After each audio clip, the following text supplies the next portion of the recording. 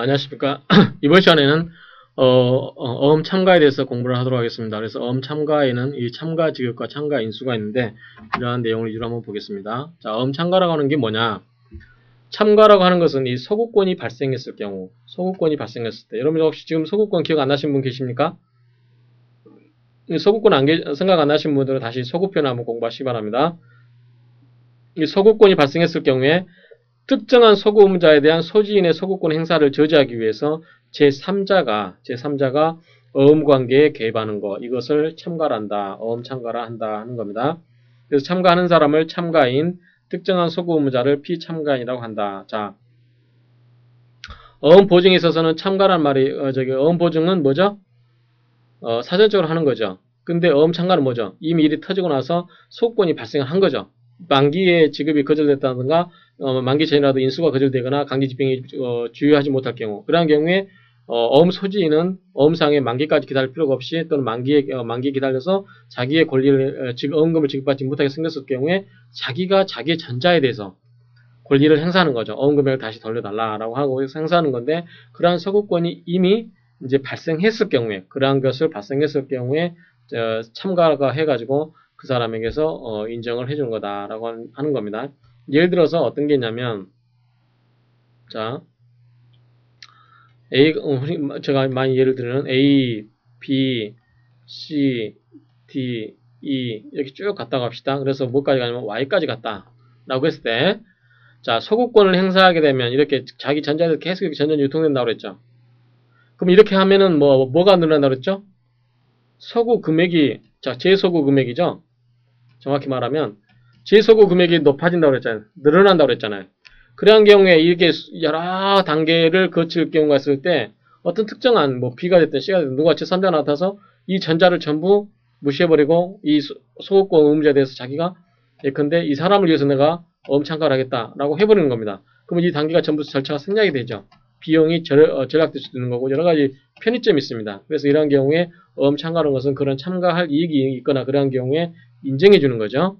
그래서 그러한 점에서 이제 차가안에서 한번 보시면 제3자가 어음 관계에 가입함으로써 개입함으로써 어음의 신용을 유지하는 점에서 어음 보증과 유자나 유사하나 어음 보증은 뭐죠? 사전이죠. 미리서 사전에 어 저기 참가하는 반면에 어음 참가는 소구권이 발생했다는 건 뭐죠? 어음 지급이 거절됐다라는 거죠. 그럼 이미 사건이 터진 거죠. 그래서 어음의 만기에 어음 금액이 지급되지 않았을 때 비로소 그 소구권이 발생했을 때 어음 참가를 하는 거기 때문에 사후적인 거라죠. 그래서 어음 보증이 사전적인 조치인 반면에 어음 참가는 사후적이다. 그 다음 참가 제도는 수표에는 없고 어음의 특유한 제도다. 어음의 특유한 제도다. 참가의 종류는 참가 인수가 있고 참가 지급이다. 이러한 점은 좀 이따 배우시고요. 참가의 당사자는 참가인이 있겠죠. 당연히. 그 다음에 피참가인이 있고 예비 지급인이 있고 이런 게 있는데 예비 지급인이 있고 그 다음에 협의에 참가했던 고유에 참가 있는데 어, 예비 지급이라는 것은 어음상의 어음, 어음의 기재상 참가할 것이라고 예정되어 있는 자 이러한 것이 예비 지급인입니다. 그 다음에 협의에 참가있는 고유에 참가있는 순수한 제3가가 제3자가 참가하는 경우 이런 것을 협의에 참가인 또는 고유의 참가인이라고 한다라고 하는 겁니다. 자, 참가의 통지. 참가인은 피참가인에 대해서 참가일로부터 이, 거래일 이내에 참가의 통지를 하도록 하고 있습니다. 그렇죠? 왜 그런 거는 좀 이따 여러분들이 보시면 압니다. 자, 먼저 어, 참가 인수를 보도록 하겠습니다. 자, 참가 인수라는 것은 인수에 참가하는 거죠. 참가 인수라는 것은 참가 인수라는 것은 만기 전에 만기 전에 소구권이 발생한 경우 그 소구권 행사를 저지할 목적으로 제3자가 특정한 소구 의무자를 위하여 그자와 동일한 어음상의 채무를 부담할 것을 어, 약속하는 어명이다 라고 하는 겁니다. 자, 한번 그림을 그려보시면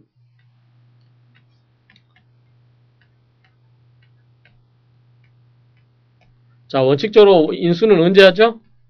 인수는 어, 지급인이 만기 전까지 인수를 하겠다고 하는 거죠. 그래서 만기 전에 이제 그 인수가 거절, 거절되는 여러 가지 그런 경우가 있을 수 있죠. 그런 경우에 소구권이 이제 만기에 소지인이 소구권을 행사하는 거죠. 이 전자에 대해서 이렇게 소구권을 행사하는데 이 사람이 인수를 안, 했, 인수를 안 했다든지 그런 경우에 그러한 경우에 이 소구권 행사를 저지할 목적으로 제3자가 특정한 소구 업무자 예컨대 어, D를 위한다고 합시다. D를 위해서 그자와 동일한 어음상의 책임을 부담할 것을 약속하는 어음상의 행위가 보다 참가 인수다라고 하는 거죠. 그러면은 이 참가자가 누가 될 수 있느냐? 자, 제3자가 되겠죠. 여기에 참가할 수 있는 D-라고 하죠. D-가 제3자가 됩니다. 근데 지급인, 발행인, 배서인, 보증인, 인수인 이런 사람은 참가인이 될 수가 없습니다. 왜 참가인이 될 수 없죠? 제3자가 아니죠. 자, 이런 사람은 예, 근데 어 이, 저기 지급인, 발행인 이런 사람들은 어 발행인 이런 사람들은 나중에 발행인은 A는 뭐 무슨 책임? 최종 소구무자의 지위에 있다라고 말씀을 드렸습니다. 그러면 어찌됐든 이렇게 소구권을 계속 행사하게 되면 계속 어찌됐든 이 사람한테까지 소구권을 행사해서 가는 거죠. 따라서 언젠가는 이 사람들이 다 책임을 져야 되는 당사자들입니다.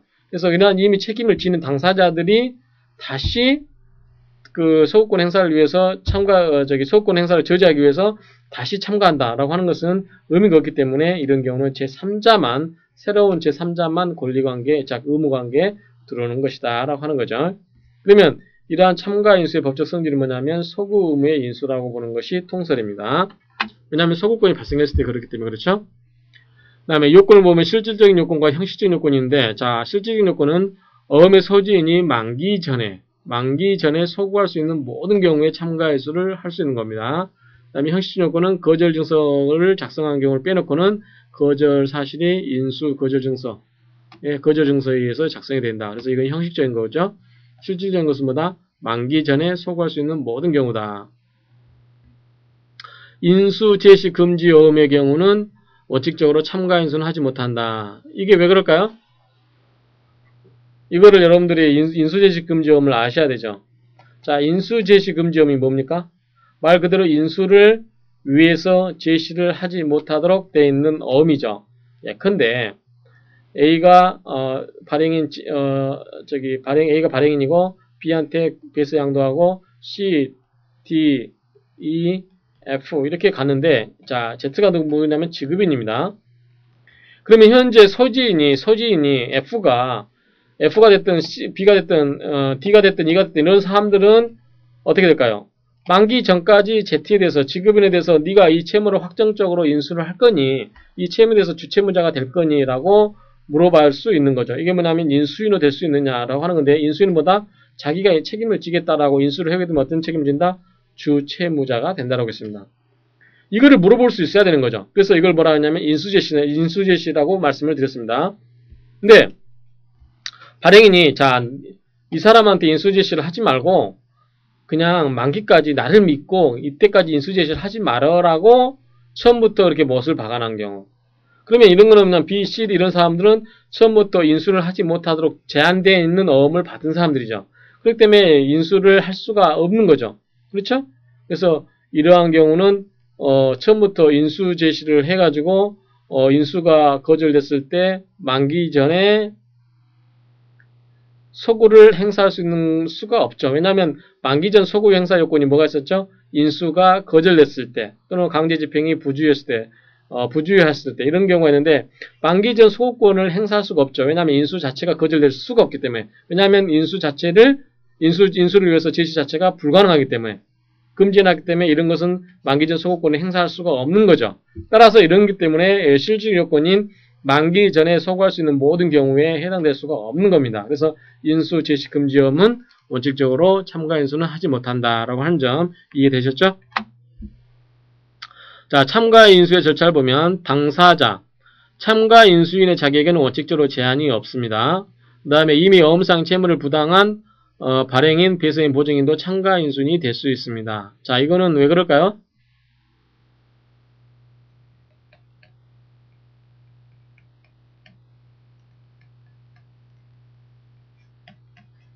자, 소구를 하게 되면 금액이 계속 커진다고 그랬죠. 따라서 이 발행인 A가 A가 참가 인수를 해버릴 수도 있다 그런 말입니다. 그래서 그런 경우는 이 절차가 전부 생략이 돼버리는 거죠. 그러면 소구 금액이 커진다 안 커진다? 안 커진다. A는 이해관계가 있다 없다? 있죠. 왜냐하면 소구 금액이 안 커지기 때문에 왜냐하면 자기가 최종 소구무자 지위가 되기 어, 소구무자로서 지위를 가지고 있기 때문에 그렇습니다. 자 소구무자이며 어, 발행인, 배서인 및 이들의 보증인이 모두 피참가인이 될 수 있다라고 하는 점. 자 방식은 어떻게 하냐? 참가인수는 어음의 참가 인수의 뜻을 기재하고 기명날인 기명날인 또는 서명하고 어음 소진에게 교부를 하여야 된다. 참가인수니 어음의 참가인수의 뜻을 기재하고 어, 기명날인 또는 서명하고 어음 소진에게 교부를 해야 된다. 참가인수는 어떻게 된다? 무조건이어야 된다. 일부 참가인수는 허용되지 않는다. 그렇죠? 왜 허용되지 않을까? 일부 참가는 그 이유가 좀, 좀 있으면 나옵니다. 참가인수에는 피참가인을 표시를 해야 된다. 표시가 없어도 유효합니다. 무효가 되는 건 아니고 단지 환음의 경우는 뭘 위한 걸로? 발행인을 위한 것으로 본다. 라고 죠 그렇죠? 발행인을, 발행인이 뭐가 되죠? 최종 소구무자입니다. 최종 소구무자이기 때문에 이 발행인을 위해서 참가 인수 한 것으로 본다라고 하는 겁니다. 법문상의 등본 또는 보존에 하야하는 것은 하야하는 것이 허용되지 아니하지만 어, 참, 참가인수는 배선인 또는 보증인을 위하여 하는 것이므로 등본 또는 보존에 허용한, 어, 하는 것도 허용된다고 보는 것이 통설이다. 자, 통지. 참가인수는 비참가인에 대해 참가인수로부터 이 거래일 이내에 참가인수의 통지를 해야 됩니다. 자, 참가인수의 승낙과 거절. 참가인수를 하려면 소지인의 승낙이 필요합니다. 왜, 왜 승낙이 필요할까요? 왜?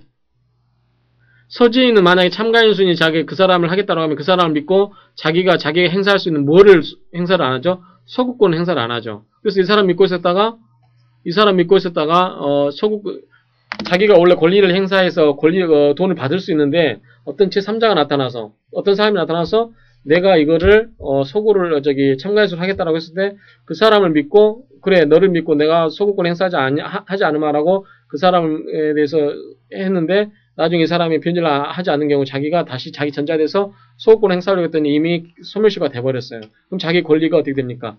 없어지는 거죠. 둥 뜨는 거죠. 그리고 이 참가 인수자에 대해서 어떻게 된 거예요? 이 참가인에 대해서 뭘 권리를 행사받을 수 없을 경우에 결국은 자기만 손해 보는 거죠. 그렇죠? 그렇기 때문에 그 사람이 나타나가지고 내가 과연 이 사람으로부터 변제받을 수 있는지 없는지 그런 것을 따져볼 필요가 있는 거죠. 그래서 그런 경우는 승낙이 있어야만 됩니다. 그래서 소지인이 승낙을 할 수 있는 선택권이 있다라고 하는 점. 그래서 소지인은 원칙적으로 언제든지 참가 인 수를 거절 가능하며 이는 신용할 수 없는 제3자의 개입으로 소유권 상실을 막기 위해서다라고 했습니다. 어, 자, 이건 방금 전에 설명드렸고 다만 어음상에 예비, 예비 지급인이 있는 경우 예비 지급인 기지가 있는 경우는 처음부터 내가 어음을 취득하면서 뭐죠? 이 사람이 장차 예비 지급이 될 거라고 했기 때문에 그 사람은 그 사람의 참가 인수는 거절을 못하는 거죠.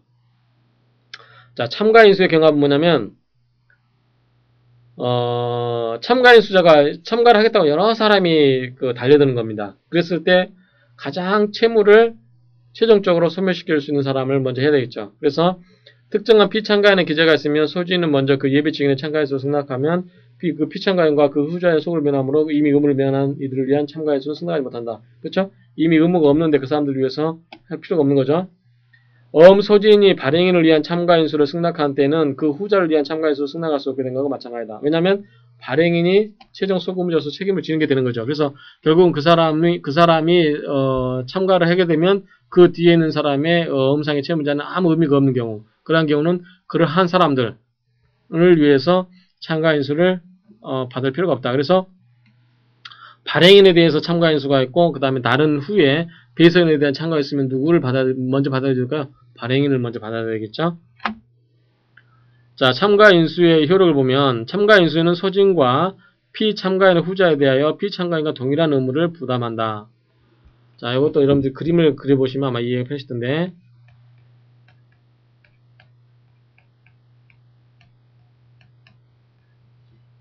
이렇게 했을 때 참가 인수인 자 이를 위해서 이다시가 참가 인수를 했습니다. 참가 인수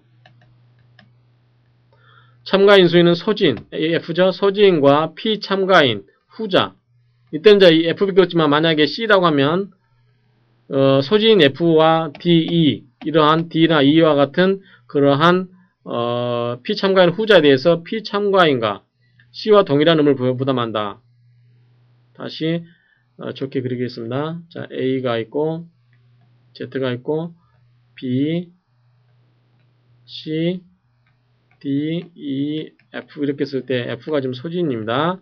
자, C를 위해서 C-가 어, 참가인수 했을 때 자, 이 사람이 참가인수 해버리면 자, 소진뿐만 아니라 이 사람뿐만 아니라 그 피참가인 C의 후자들 D, E 이런 사람들에 대해서 권리가 전부 소멸되는 거죠. 그래서 이런 사람들에 대해서 어, 권리가 소멸된다.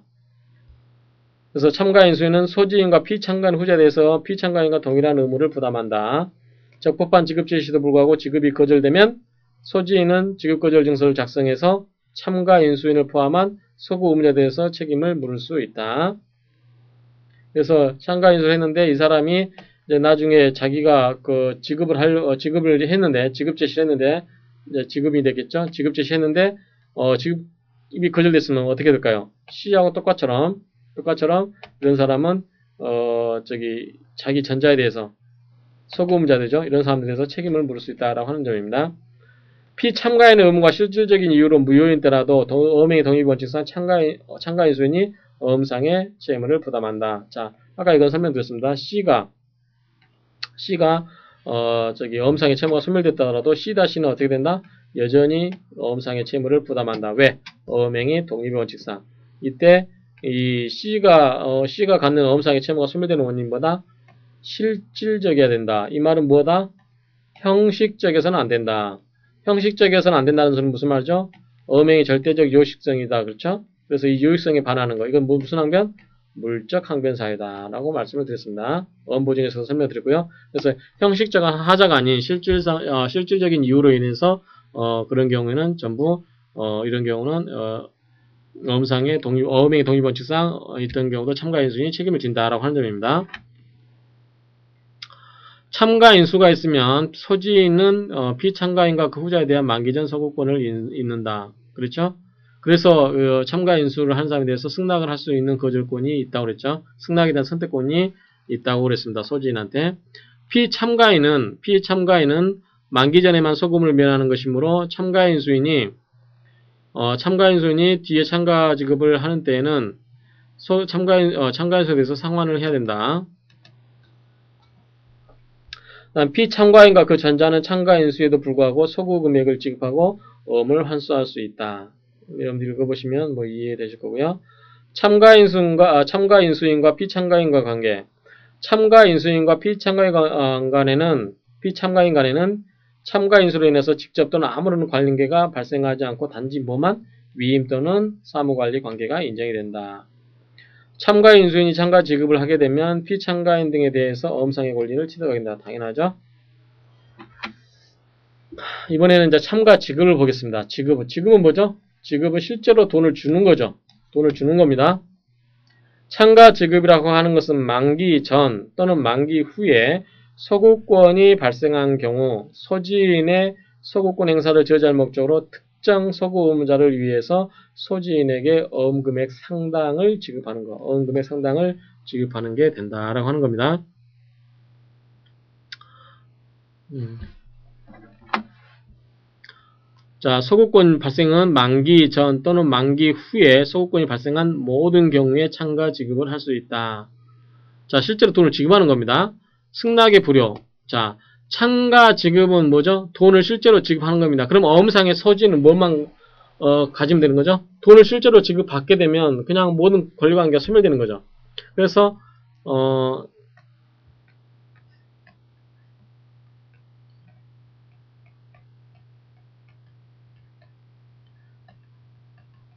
이렇게 했을 때 만약에 어, C를 대신해서 C를 대신해서 어떤 참가 지급을 한다.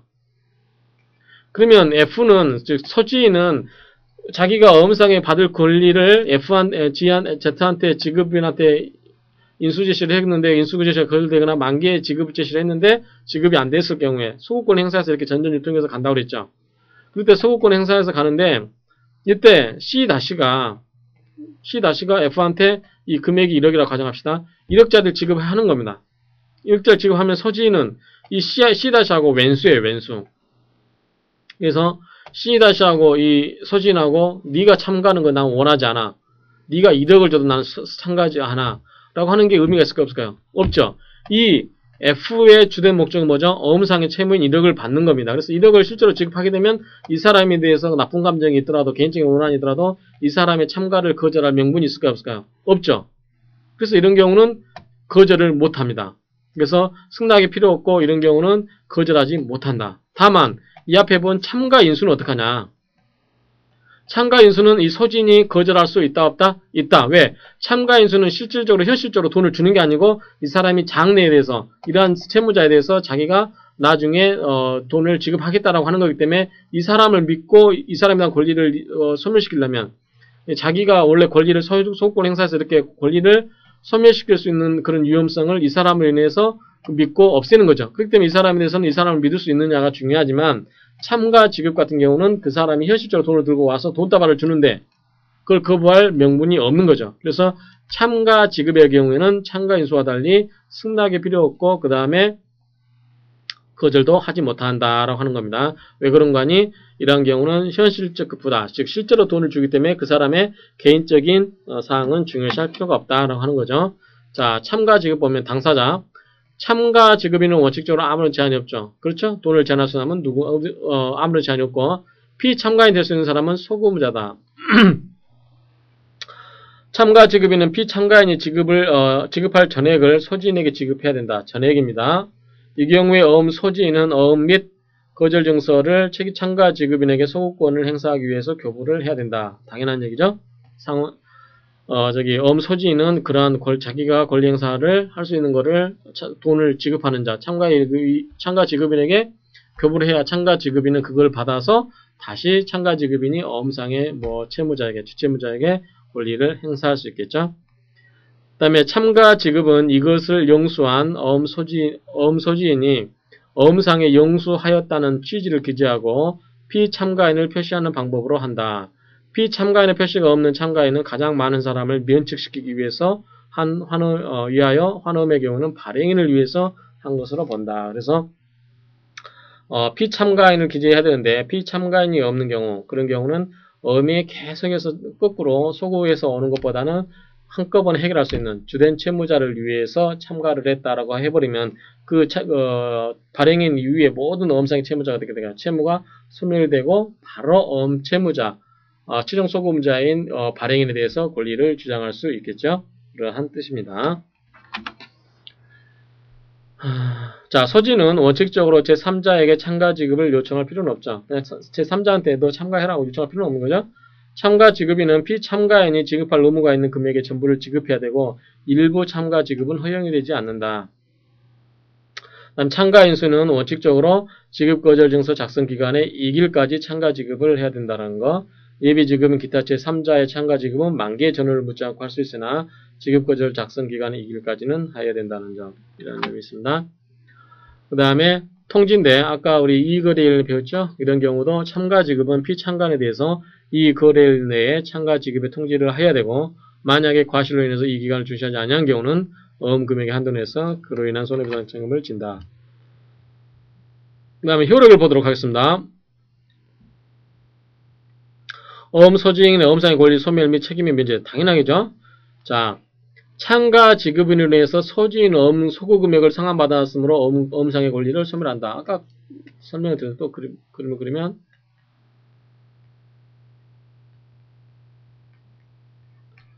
이 소지인이 자 참가 C-가 참가를 해가지고 어음상의 채무를 이행을 했습니다. 그럼 참가 지급을 했어요. 그러면 F는 아무 이, 어, 어음상의 채무를 갖고 있을 리 없죠. 왜냐면 아까 F는 어떻게 된죠? 이 사람에 대해서 어떻게 된다? 거절증서라든가 어음에 대해서 상환을 해야 되죠. 교부를 해야 됩니다.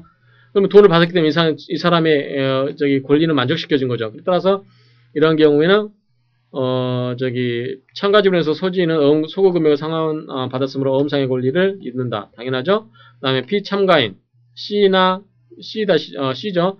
피참가인도 소진에 대한 소금물을 면하고 그렇죠?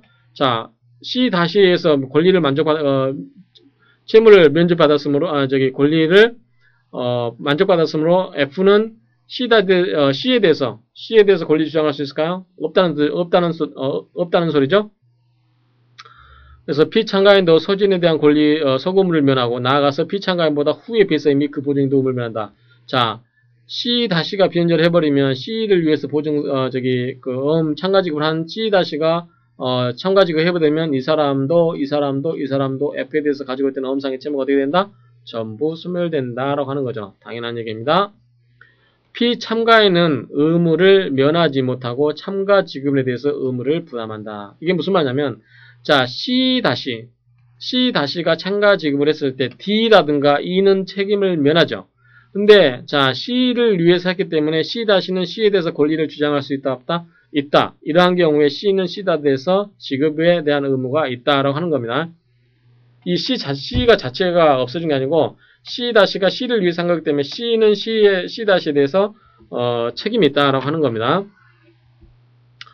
자, 참가 지급인의 어음상의 권리 취득. 지급을 한 참가 지급인은 피참가인과 그 어음상의 채무자에 대해서 어음으로부터 생기는 권리를 취득한다. 당연하죠.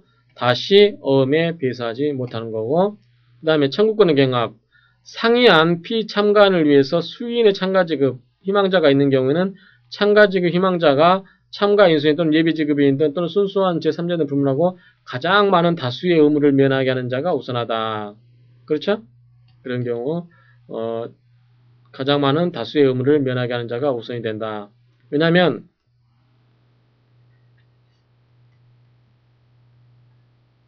B, C, D, E, F 끝 가가지고 Y까지 갔어요. 그러면 이때 어, X에 대해서 F에 대해서 C에 대해서 이 세 사람의 각각에서 참가인이 나타났어요.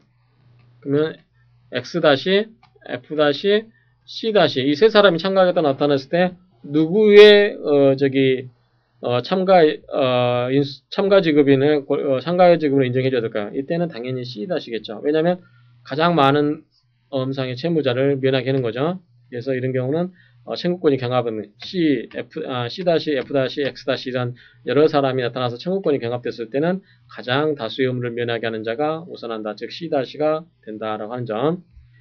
그 다음에 일반 사업상의 보상청구권, 참가 지급인은 피참가인 등에 대해서 일반 사업상의 사업상에 대한 보상청구를 가질 수 있다.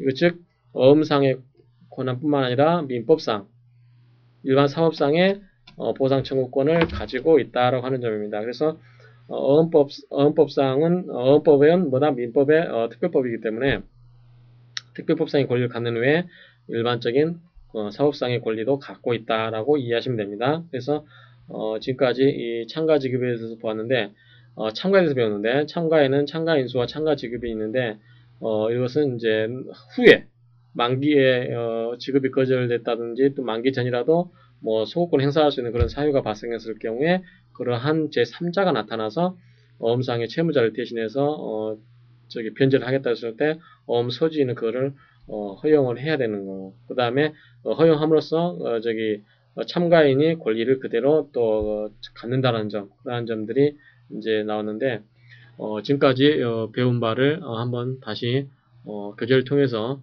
좀 다시 한번 쭉 읽어보시면서 이해하시기 바랍니다. 수고하셨습니다.